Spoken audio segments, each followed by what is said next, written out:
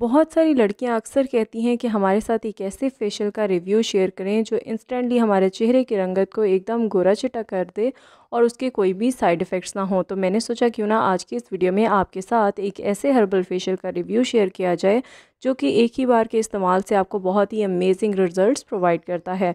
अस्सलाम वालेकुम एवरीवन मैं हूँ अलीशे। तो कैसे हैं आप लोग? आज की इस वीडियो में मैं आपके साथ शेयर करने वाली हूँ लोटस के ज्यूल वाइटनिंग फेशियल का कंप्लीट रिव्यू ये जो फेशियल है, ये एक हर्बल फेशियल है, इसके कोई भी साइड इफ़ेक्ट्स नहीं है। आप इसे यूज़ कर सकती हैं और ये आपको इंस्टेंट रिजल्ट्स भी प्रोवाइड करेगा। आप इसे ऑनलाइन कहाँ से बाय कर सकती हैं? वो आगे चल के मैं आपके साथ शेयर करूँगी। इसमें आपको तीन तरह के फेशियल्स मिलते हैं twenty four K gold blue diamond and white pearl आप कोई सा भी बाय कर सकती हैं लेकिन पर्सनली मैं आपको यही सजेस्ट करूँगी कि आप इनका twenty four K gold facial ही बाय करें। ये कुछ इस तरह से जार फॉर्म की पैकेजिंग में आपको मिलता है। आगे चल के मैं आपके साथ इन डिटेल शेयर कर देती हूँ। जैसे कि आप यहाँ पर देख सकती हैं कि आपको इस फेशियल किट में फाइव जार्स मिलते हैं और टू बॉटल्स मिलती हैं जिसकी वजह से इसे seven in one facial kit कहा जाता है।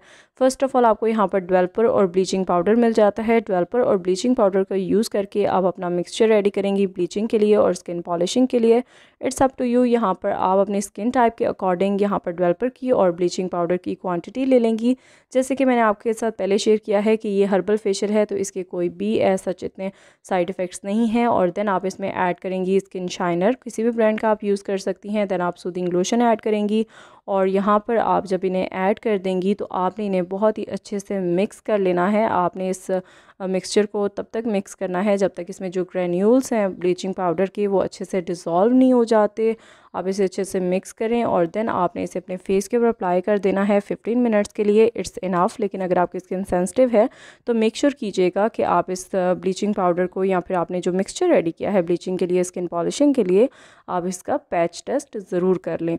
और आप इसे अप्लाई करके 15 मिनट्स के लिए रख देंगी और आफ्टर 15 मिनट्स में आपको अपने हैंड के ऊपर से इसे रिमूव करके दिखाती हूँ। इसके बहुत ही अमेजिंग रिजल्ट्स आपको मिलेंगे। तो यहाँ पर आप देख सकती हैं कि ये ड्राई हो चुका है आफ्टर 15 मिनट्स और मैं इसे कुछ इस तरह से फेशियल स्पंज की हेल्प से रिमूव कर रही हूँ। और फ़र्स्ट जो स्टेप है इसका फेशियल किट का वो यही है कि आपने अपने फेस की ब्लीचिंग करनी है, यानी कि स्किन पॉलिशिंग या ब्लीचिंग जो भी आप करना चाहें आप वो कर सकती हैं। देन आ जाएगा सेकेंड स्टेप जो है वो डबल एक्शन क्लेंजर को यूज़ करने का है। तो इनका क्लेंजर आपको कुछ इस तरह से जार फॉर्म की पैकेजिंग में मिलता है। काफ़ी अच्छा इनका क्लेंजर है। आपने इस पैचुला की हेल्प से अपने हैंड के ऊपर इसकी अमाउंट ले लेनी है क्लेंजर की जितनी आपको रिक्वायर्ड है अपने फेस और नेक के लिए और आप कुछ इस तरह से लेकर इसे अपने फेस के ऊपर अप्लाई करेंगे। हम स्पैचुला इसलिए यूज़ करते हैं क्योंकि जो जार होते हैं, उनमें फंगस या फिर उनके ख़राब होने के चांसेस बहुत ज़्यादा होते हैं कि अगर हम डायरेक्टली फिंगर के साथ यानी कि जार में से प्रोडक्ट जो होती है पिक कर लेते हैं तो जिसकी वजह से हमारे जार में जो प्रोडक्ट होती है, वो ख़राब हो जाती है। फाइव मिनट्स तक आपने अच्छे से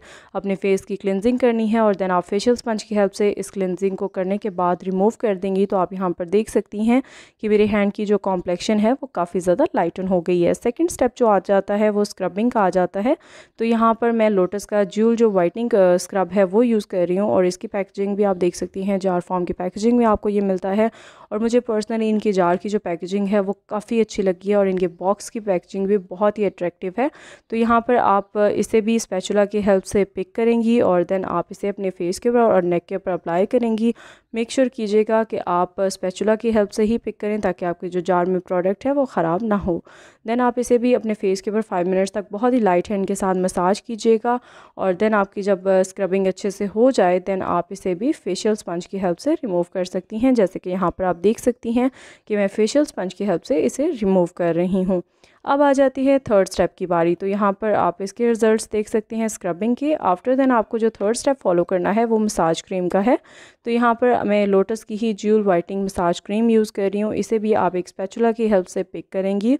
और देन आप इसे अपने फेस के ऊपर और नेक के ऊपर बहुत ही लाइट हैंड के साथ फाइव मिनट्स तक आपने मसाज करनी है। देन आपने फाइव मिनट्स तक अच्छे से मसाज करनी है देन फेशियल स्पंज की हेल्प से आप इसे रिमूव कर देंगी और देन स्टेप आ जाता है मड मास्क अप्लाई करने का। जो मड मास्क है वो आपने अपने फेस के ऊपर अप्लाई करना है। कुछ इस तरह से स्पैचुला की हेल्प से आप पिक करेंगी और अपने फिंगर टिप से भी अप्लाई कर सकती हैं। ब्रश की हेल्प से भी आप अप्लाई करके इस मड मास्क को छोड़ सकती हैं। अपने फेस के ऊपर फिफ्टीन मिनट्स के लिए टेन और फिफ्टीन मिनट्स के लिए जब ये ड्राई हो जाए देन आप इसे अच्छे से फेशियल स्पंज की हेल्प से रिमूव कर देंगी अपने फेस पर से इस मड मास्क को। देन जो स्टेप आ जाता है, वो आ जाता है स्किन पॉलिशिंग का। जो स्किन पॉलिशिंग का स्टेप है, वो बिल्कुल आपने एंड पे करना है।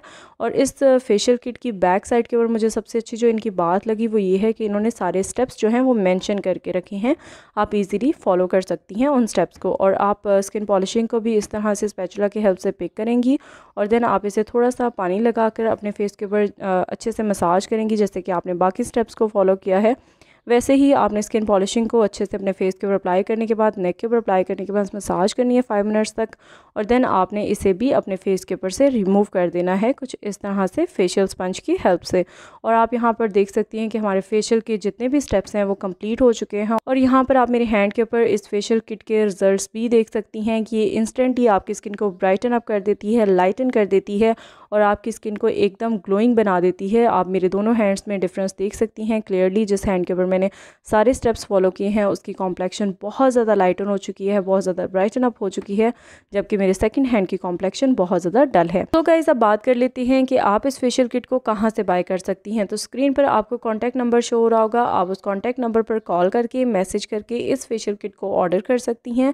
उसके अलावा डिस्क्रिप्शन बॉक्स में मैंने आपको कॉन्टैक्ट नंबर और इनका इंस्टा का जो यूज़र नेम है, वो मैंशन कर दिया है। आप उस पर भी इनसे कॉन्टैक्ट कर इस फेशियल किट को मंगवा सकती हैं। अगर आपको इस फेशियल किट का रिव्यू अच्छा लगा हो तो वीडियो को लाइक कीजिएगा शेयर कीजिएगा, मेरे चैनल को सब्सक्राइब कर लीजिएगा। मैं आपसे मिलती हूँ नेक्स्ट वीडियो में, तब तक के लिए बाय टेक केयर एंड अल्लाह हाफिज़